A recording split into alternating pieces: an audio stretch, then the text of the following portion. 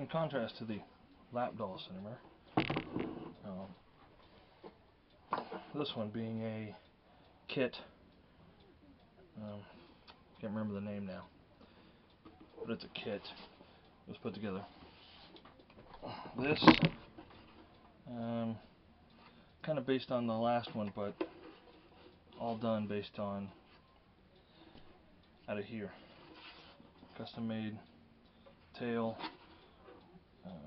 Strings are through, pinned. This was pretty soft material. The pins didn't hold at first. I had to, uh, thought I was gonna have to put a hardwood piece in there to hold them pins, but I found some longer ones. A little hole, hang it up. Mostly cherry wood, some purple heart. Anyway, I wanted to uh, let you hear how it sounded. And I don't know what else to play, but.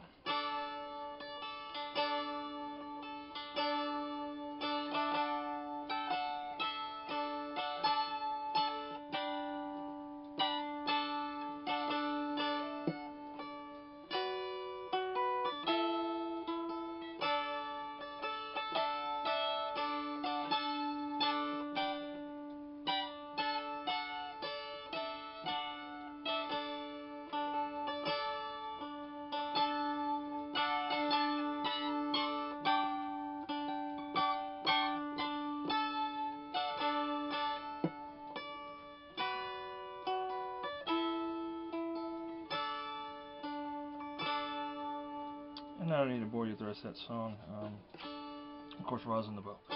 Um,